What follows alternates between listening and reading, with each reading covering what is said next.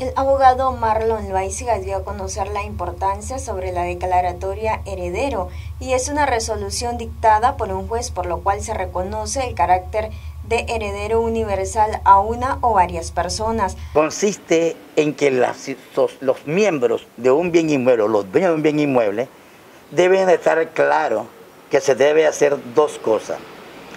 Dejar clara la situación en vida, establecer el testamento, donde eh, digan a quién le van a dejar los bienes inmuebles y todo lo que tengan ellos, o bien de que las partes que son los sucesores, los hijos o la esposa, deben estar claros que una vez que se muere el dueño del bien inmueble, tengan el derecho de adquirir su derecho a través de la vía declaratoria de heredero.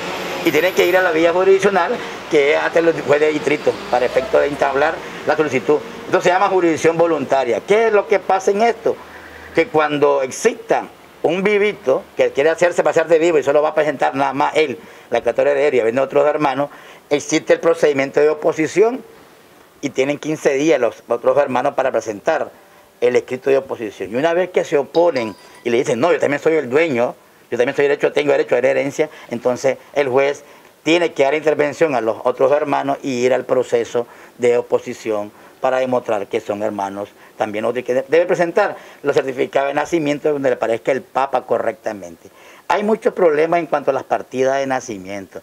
Hay veces tienen apellidos cambiados, apellidos invertidos, nombres incompletos o nombres que no son. Entonces, eso tiene que corregirlo primero. Para que pueda demostrar de que sos hijo del causante, tiene que tener los apellidos correctos del causante. Asimismo, dio a conocer qué requisitos se utilizan para dicho trámite. Primero, debe establecer el acta de defunción, que esté correcta, con el nombre correcto, conforme aparece en la cédula de identidad. Segundo, sacar copia de la cédula de identidad y presentarla en él.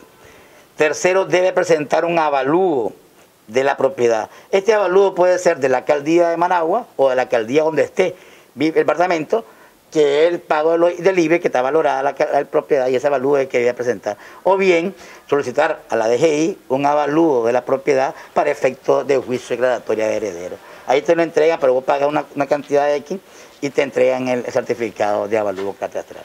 Dentro de la práctica y la experiencia a veces suceden hasta de un año. Actualmente los jueces se atrasan tanto en eso que se lleva un año. Noticias 12, Darlene Telles.